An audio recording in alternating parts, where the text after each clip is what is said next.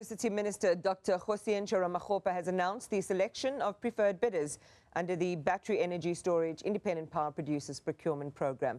And it is in line with the department's integrated resource plan. Newzroom Afrika's Nqobile Madlala is live with the minister now. Good morning, Nqobile.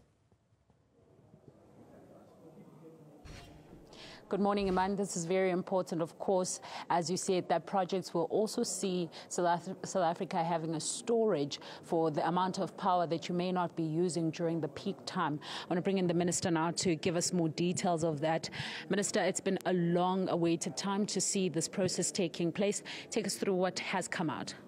Well, it's important that uh, it's going to uh, increase our grid capacity as we know now, during the day, we are generating excess uh, uh, capacity, largely coming from solar PV.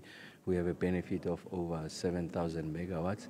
The problem is that late in the evening, when you don't have uh, the sun, um, and when the peak um, uh, uh, is, is, is attained, um, you don't have the benefit of uh, what we had during the day. So what we're doing with the battery storage is that this excess generation capacity, we're storing it, and then during the evening when the sun is not there and there's a, a increase in, uh, in demand, we're able to draw from the energy that we have, uh, we have stored to support the, the peak demand.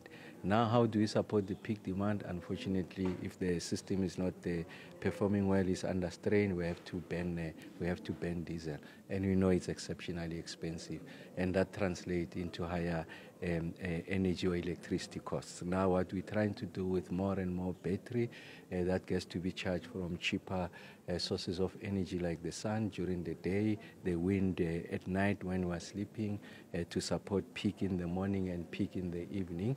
Uh, the more you have battery, it means that you are able to bring down the cost of electricity, and then you can stop these runaway tariff increases for households and industry businesses becomes more competitive, capacity utilization increase, we are able to lift the South African economy. So that's the, the significance of uh, the announcement we're making today. Minister, you have this company that is also homegrown. Take us through the name of the company, perhaps what it is, and also how much are they investing in the economy with regards to this project?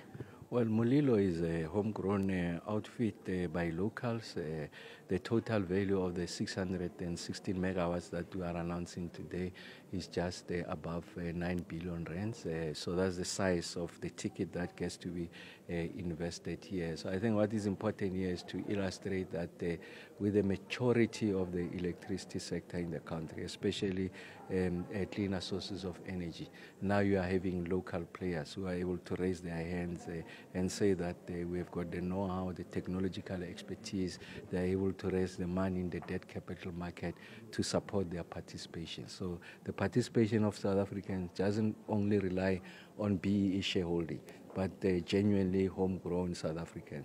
But we're taking it a step further. Uh, because of uh, our history, I think we've got an obligation to ensure that you deracialize, uh, if you like, uh, the economy of the country, and that's why that dispensation for black players will always uh, remain a minimum of 40% uh, black participation. Everyone, Mulilo and Scatec, who have won this round and the previous round, have to meet that the minimum floor. That's the floor, that's not the ceiling. The participation could be significantly higher. But what we want to do going forward there is to is to ensure that uh, we are able to uh, support black participation from an equity participation point of view, and that's why your DFIs are going to be very important, so that you design a special dispensation to support the black participation. The second one is to build an industry on the back of what we are doing we're going to announce the IRP 2025. You'll see that battery um, energy storage solution is still going to be a big part of that, solar, PV, and wind a part of that. So you need to build an industry on the back of that. If you look at the previous bid windows, we've invested upwards of uh, 240 billion rands, but there's no industry. We're not paying manufacturing uh, um, panels at the right numbers, uh, right quality, uh, and also at the right price. We are not manufacturing batteries. All of these things will be imported into the country. Of course, there's a condition for local content, uh, about 3.7 billion rand. But out of 9 billion rand, that's uh, uh, we need to up the game.